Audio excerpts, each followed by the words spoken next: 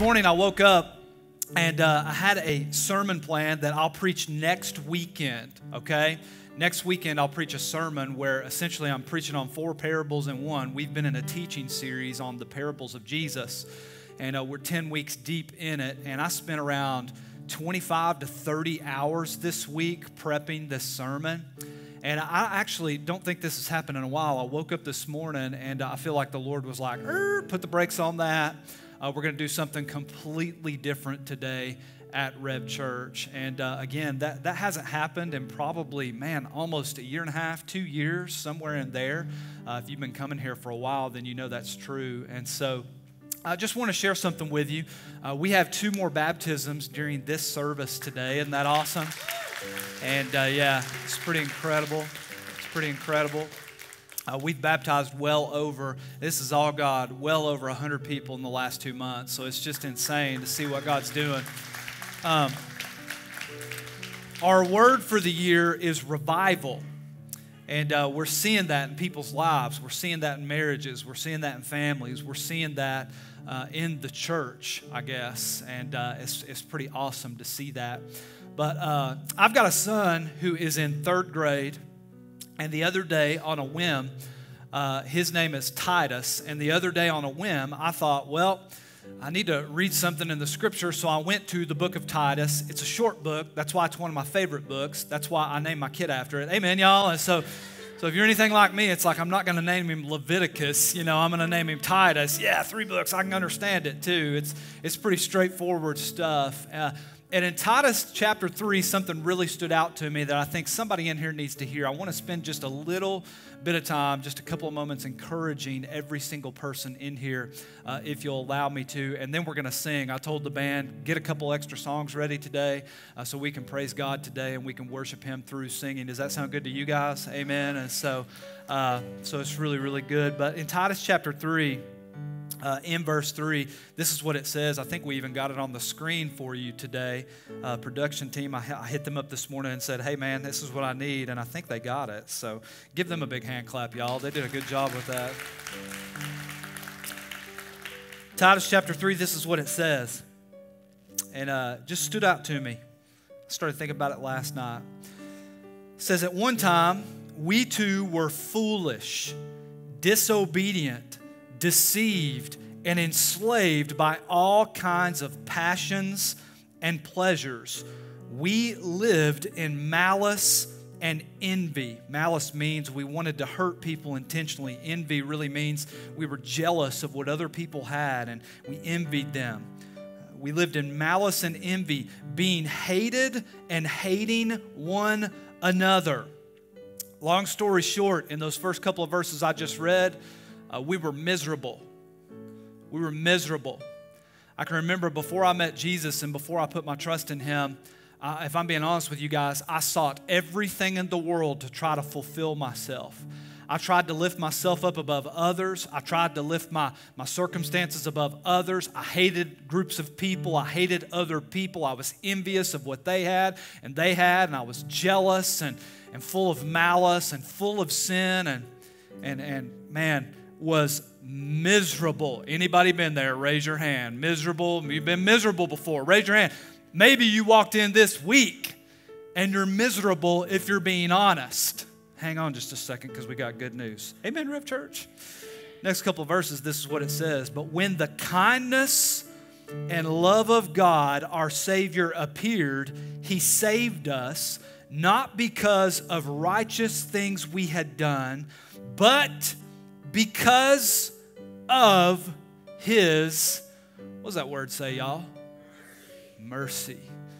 Mercy, mercy. That's what my grandma used to say. Mercy, you know? Mercy. Because of his mercy. In spite of us, in spite of who we are, in spite of what we've done, in spite of all those things that made you miserable and all those things you did, God sent his son Jesus and sent mercy to this earth. And that is good news. That is good news. See, the reality in here today is, is pretty simple. Uh, you know, I, I, say this almost every week, but we got a saying printed on the door, and we say it on the radio, and we put it on all our print ads and everything. But it is, help me, church, no perfect people allowed. Let's say that one more time and get woke up during this fall weather. This is the first fall Sunday of the year, and y'all got to get woke up, okay? So let's say it again. One, two, three. No perfect people allowed. Look at your neighbor and say, He's talking about you. You ain't perfect. Go ahead. Like, now, find somebody else around you that you probably don't know and say, He's definitely talking about you. Because you definitely not perfect.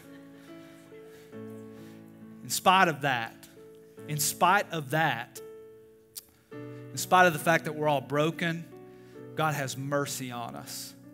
I was uh, flying last year to a conference uh, in uh, Orlando is where it was. It was this year, actually. I think it was in February or March. And uh, I was on the plane, and right before we got ready to land, uh, the person on the intercom came over, and this stood out to me in my mind. They said, uh, We're getting ready to land here in about five or 10 minutes. You know the whole spiel, but this is the thing that stood out. If you have any unwanted garbage, the stewardess is coming down the aisle so you can throw it away now. And I started thinking to myself, unwanted garbage. Huh. Who wants garbage?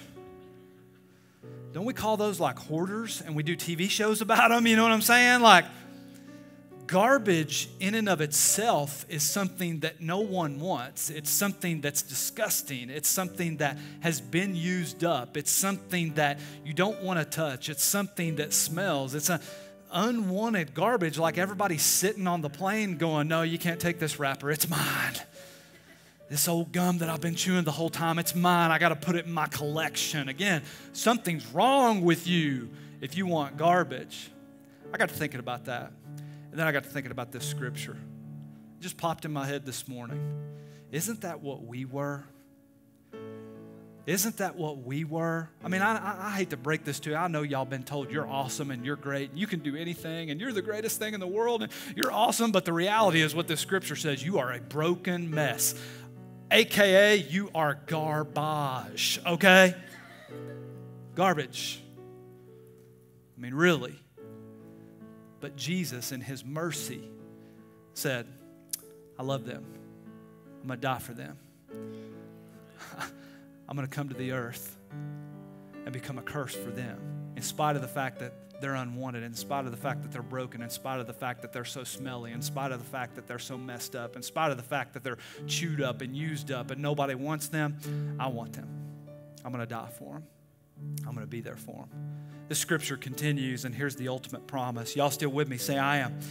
He saved us through the washing of rebirth and renewal by the Holy Spirit whom he poured out on us generously through Jesus Christ our Savior, so that having been, we talked about this a couple weeks ago, right? Justified by his grace Thank God it's not by our works. Thank God it's not by the great things we do. Thank goodness it's not because we serve at the mission or we go to church or we don't cuss or we don't drink or we don't dip or what am I going to say next? We don't date girls that do, right? And so thank goodness it's not based off that stuff. We're justified by His grace. And listen to this we might become heirs having the hope of eternal life. Man, I don't know what it is you're going through this week, Rev Church. I don't know what your struggle is in your life. I don't know what the season of life you're in is.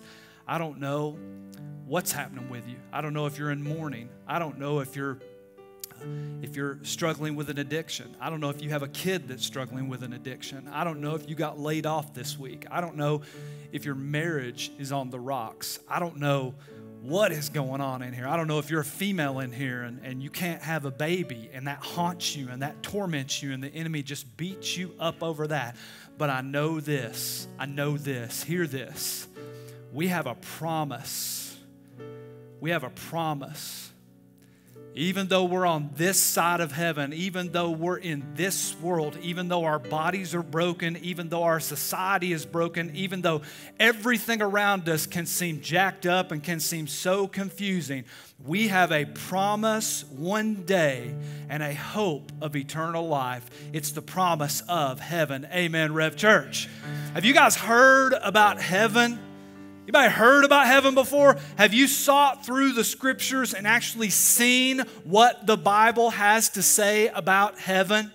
See, this totally changes our perspective on life here on earth. The book of Thessalonians says, Don't mourn like people that have no hope. Don't walk around like an atheist going, Well, when we die, that's all there is. Or, or some other crazy religion. Well, I don't know if grandma became a slug or if she became another person. I have no idea because of reincarnation. No, we mourn like people with hope, full of joy because of this place called heaven. Amen, Rev Church. Let me just encourage you just for a moment with a couple of scriptures. Colossians chapter 3 says, Since then you have been raised with Christ, set your hearts on, say those next two words with me, Rev Church, things above where Christ is seated, seated at the right hand of God. Set your minds on, say those next two words with me, Rev Church, things above, not earthly things. For you died, and your life is now hidden with Christ in God. When Christ, who is your life, appears, then you also will appear with him. And say that last word with me in glory, in heaven. Man, we need to be encouraged this weekend, Rev Church. Amen. If the only thing Jesus ever did for us was save us, and when we died, allowed us to be able to be a part of heaven that is way more than any of us will ever need. Amen? If He never does anything for you on this life and you have the hardest life ever while you're on this earth, in the next life, you get to be a part of glory. You get to be a part of something that is unimaginable. Listen to 1 Peter chapter 1. We have a priceless inheritance an inheritance that is kept in, say that word with me, Rev Church, heaven for you, pure and undefiled, beyond the reach of change and decay. Philippians chapter 3, verse 20. But our citizenship is in what, Rev Church? Mm, thank goodness, man. Thank goodness our citizenship is not a part of all nation. Amen. Thank goodness our citizenship is not being a part of, of Crossville, Tennessee, or, or the United States of America. Have you looked around lately? It's kind of crazy. I love where we live. I love the United States of America but nobody can figure anything out because this world is so broken. Our citizenship is in heaven, and from it we await a Savior, the Lord Jesus Christ, who will transform our lowly body to be like His glorious body by the power that enables Him to even subject all things to himself. Revelation chapter 5 tells us that one day, you and I, the people that have put their trust in Jesus, we are going to sing a new song.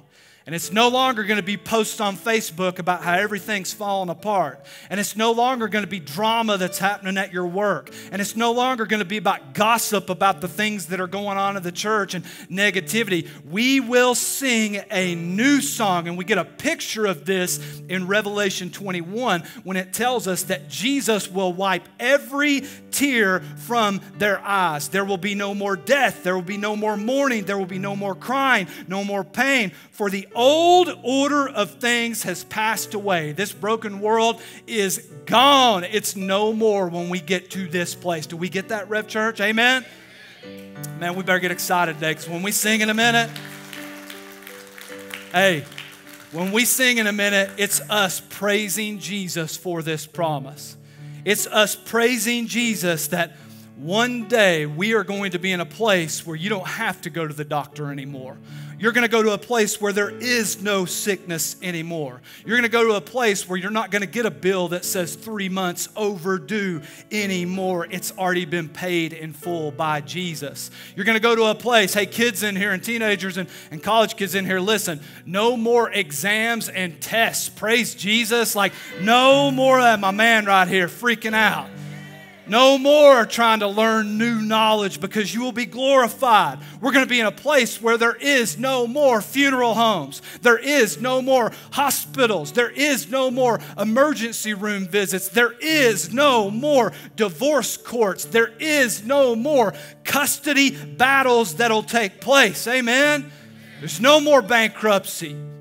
There's, there's no more suicide. There's no more addiction. There's no more terrorism. There's no more prejudice. There's no more misunderstandings. There's no more unforgiveness. There's no more gossip. There's no more hate. I'm going to tell y'all something. This will blow your mind if you wrap your mind around it. In heaven, they're not going to have a special place for the Fairfield people and the Crossville people and keep them separated. Amen we're all going to be standing together in unity saying, Holy, holy, holy is the Lord. Worthy is, but I'm just going to tell you, like, if you hate church, if you can't stand singing, you're going to hate heaven, bro. Because we're going to be in the biggest church service ever singing to the King, singing to Jesus. No more wheelchairs, no more depression, no more child abuse, no more heart attacks, no more cancer, no more suffering, no more separation, no more starvation, no more division. No, I got to throw this in there. Maybe this will get the biggest reaction of all. No more Alabama football. I got to get y'all back. I got to get y'all back.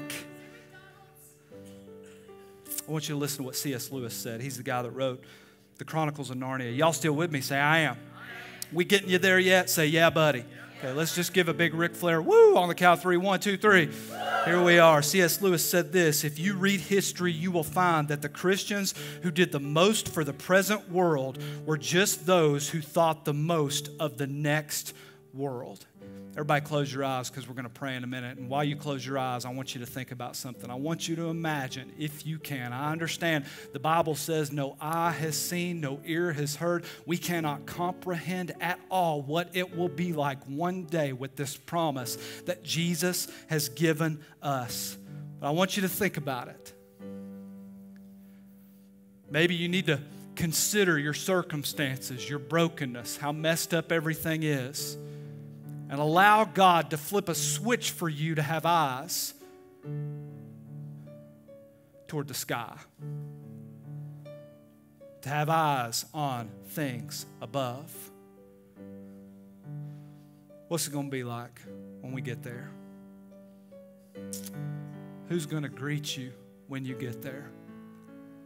Who are you going to greet when they get there and you've already been there for a while?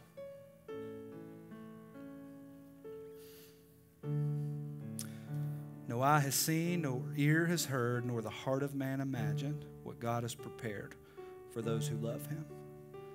You can't even imagine it. In your wildest dreams, right now, in this moment, you can't even imagine the hope that we have, the security that we have.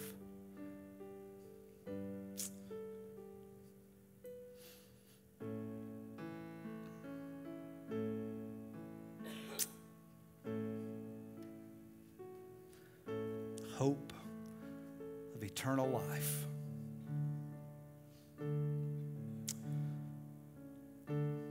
I said this once when I preached a sermon about a year and a half ago about heaven. I'm going to say it again right now. There are going to be two things that are going to surprise us when we get to heaven. I really believe this. I may have heard this from a preacher or read it in a book. I don't remember who from, though. But this is what's going to surprise us who's there who's not there. I believe there may be people here this weekend at Rev Church that you're not sure. You're not sure. Like you go to church, you play the whole church thing in Crossville, Tennessee. You know, you, you do the best you can to be good and and follow moralism and try to do some good stuff here and there and be a good citizen and all that good stuff. But when it comes to having a relationship with the one who gives us this promise, when it comes to knowing that you know that you know that you know Jesus, so you have a hope for eternity. When it comes to changing your perspective here on earth because you know where you're going when you're no longer on this earth, you're not sure about that.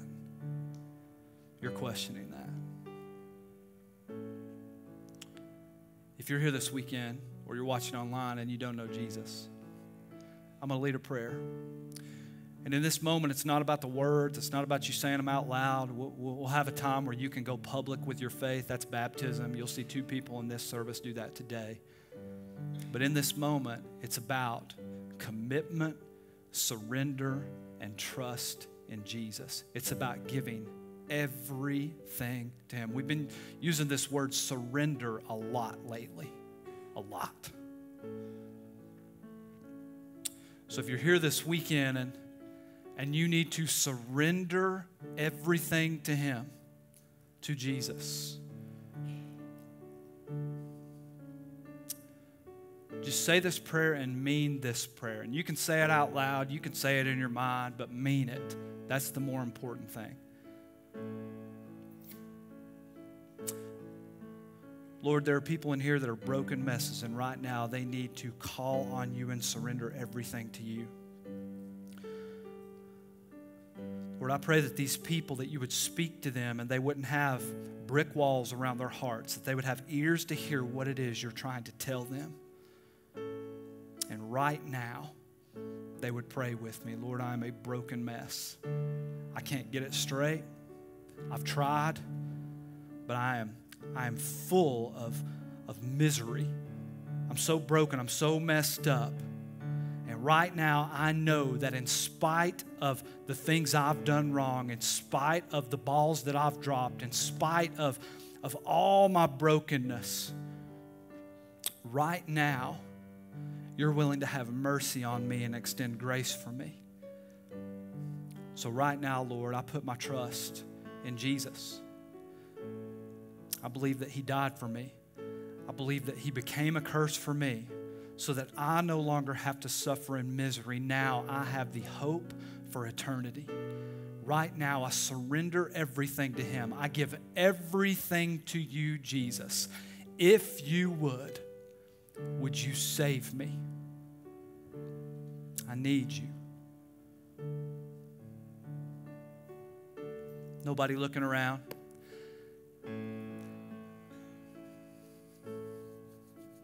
Get kind of old school with this, aren't we, y'all? Everybody good? Say, yep.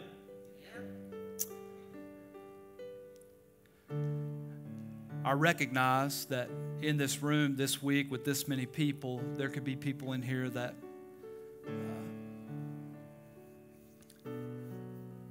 know Jesus, but you're struggling.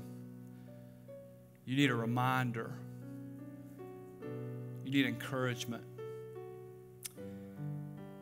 You need Titus 3 just to remember what he saved you from. You need Titus 3 to remember the hope for eternity that you have.